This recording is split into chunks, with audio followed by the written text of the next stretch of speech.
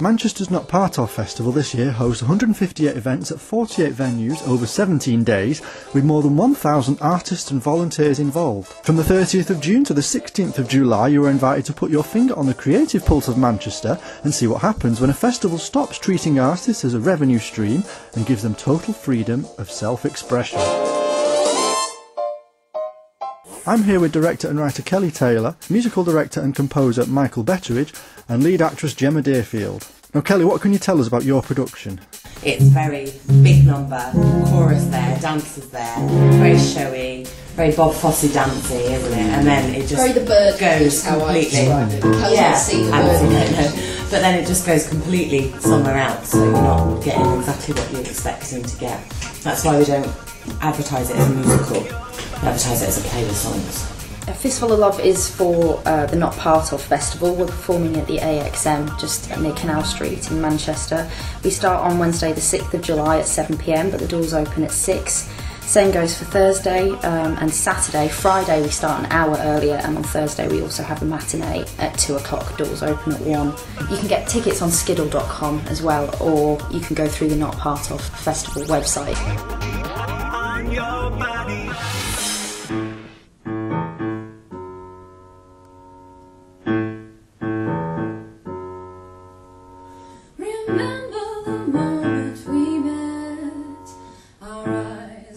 Eyes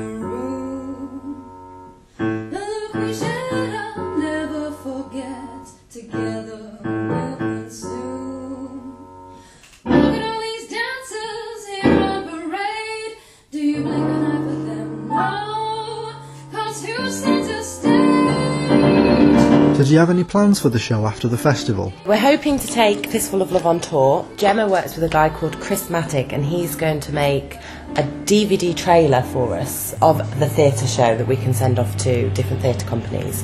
And we hope to take it on tour, I think, next summer. Um, but that can be quite a lengthy process. But as you know, once, once the festival's over, we'll be concentrating on getting the funding. Now, Michael's also been working on another show, hasn't he? Um, it's been hard, like, obviously, Michael and I have been working together for a good couple of months now, haven't we? And I know he's been working on this other show, but we haven't discussed it at all. It's been, you know, Yeah. I've, I've no idea what, what he's been doing with that show. So I'm really looking forward to going to see what other work he's been doing as well. Indigestion is on uh, Monday the 4th of July and Tuesday the 5th of July at Nexus Arts Cafe on Dale Street. It's very different from a festival. It is a music, well, we call it a music theatre piece, but essentially what it is is you, it's 15 quid a ticket, but you get dinner and some sort of theatre and music. But I won't tell you any more than that, apart from the fact that you'll turn up. You'll be seated, you'll meet some new people, and it's an interesting, interesting show. If you like the theatre, be close up. So that's Indigestion, not part of 4th and 5th of July. Um, there's also one thing I'd quite like to plug for myself. It's a not-for-profit organisation. I run uh, something called Northwest Women in the Creative Industry, and we will be having our next event sometime in September. Uh, we're on Twitter and Facebook as well. But if any women who work in media theatre or anything like that want to get involved, just join us on Facebook because it's a really busy group. And like I say, all of our events free, and everything we do is free. A lot of networking events and stuff like that you have to pay for, or you mm. know, or you find that the same people go time and time again, and you're not actually networking with anyone. You're just kind of ending up having a pint with your with one of your mates. Whereas this one, we had about hundred women, most of whom I'd never met before. Some of them were really big executives, some of them working at ITV, BBC, big casting directors, big agents, and stuff like that. And it was because we were catering to a niche that hadn't been catered for in this part of the country ever before. So yeah, I'm just kind of hoping it keeps going at the at the same kind of momentum that we've already managed to build up because it's genuinely helping people. So, Kelly, going back to Fistful of Love, what first inspired you to write the story and how did you come up with the characters? When I originally wanted to write a script, it was at university and I wanted to do something different, which was make the usual antagonist of the story the hero. And naturally, I wrote gay characters, decided to use domestic violence, and was really surprised at the amount of people that said, Does that really happen? Domestic violence in a same sex relationship. So then I was like, This is a story that should be told and hasn't been told. It was hard to find a way to show the violent scenes and the sexual scenes on stage. We wanted to push the boundaries of audience comfort, basically, but you can only go so far with it. So we brought uh, dancers in and we turned it into a play with songs, we like to call it, not a musical. Michael's written most of the music for the show.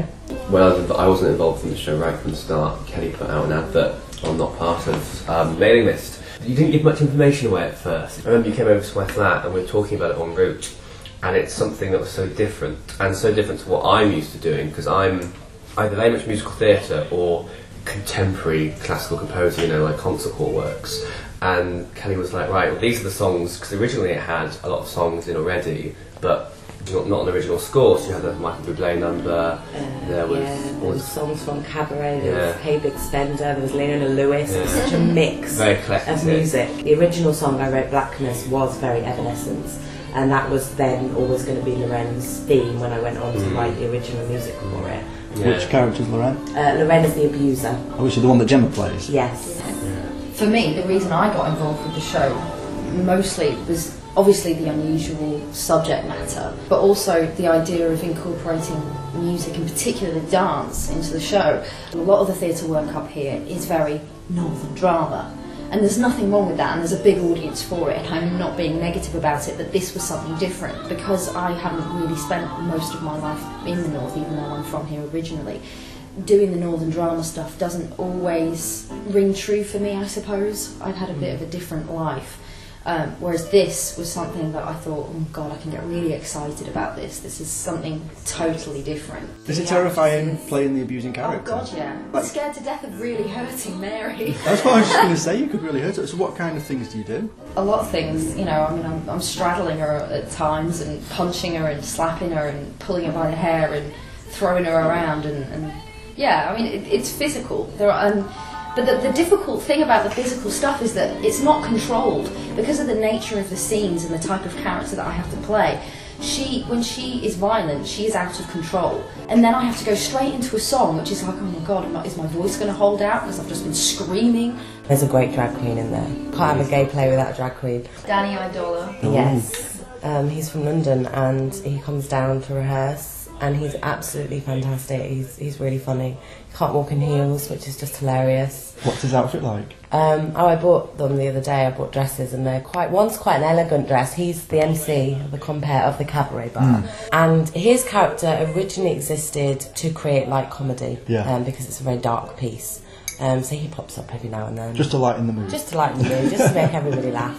He's got uh, a very elegant dress for one of his scenes, very long, flowy, black and white with like beads all over it, and then he's got a very short silk purple dress Oh with um, sparkled diamantes all around the top of it, and it's like one of these like like I'm wearing now, so my bra like one of those tops. Has he Um, seen the dresses yet? he hasn't, but I emailed him yesterday and I've requested that he goes to get himself measured for a bra, which is he's very excited about that. So he's off to uh, get himself a bra uh, and he's, get it all stuffed up. Um, so he can really fill out the dress well, but one of them's a boob tube dress. He's going to hate it, but it's going to be brilliant. Oh, he'll look great. Oh, he'll look fantastic, and he's got some great wigs. He's got a long sort of red one and then a big bouffant blonde one. Fake eyelashes, the works. For booking information and further details on Indigestion, A Fistful of Love, and the many other productions as part of this year's festival, log on to notpartof.org.